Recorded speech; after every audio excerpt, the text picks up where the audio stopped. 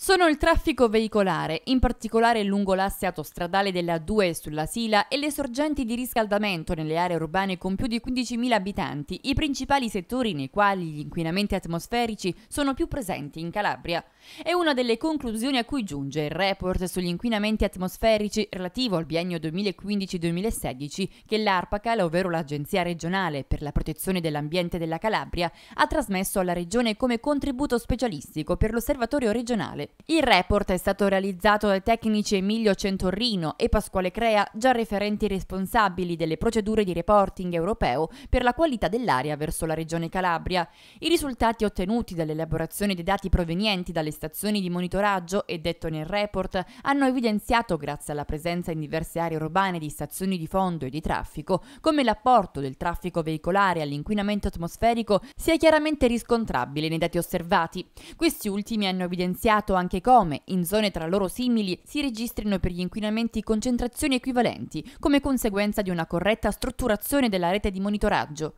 Nel complesso, per tutti i comuni di interesse, non sono emersi stati di criticità. Il documento trasmesso alla Regione è stato validato dal direttore scientifico, il dottor Francesco Nicolace. Anche con queste attività, ha dichiarato il commissario Arpacal Maria Francesca Gatto, l'agenzia opera per la tutela dell'ambiente e della salute pubblica in stretta sinergia con la Regione Calabria, allineandosi con l'utilizzo di tecnologie avanzate acquisite grazie al POR FESR 2007-2013 alle attività più complesse condotte dalle altre ARPA italiane nel campo della qualità dell'aria.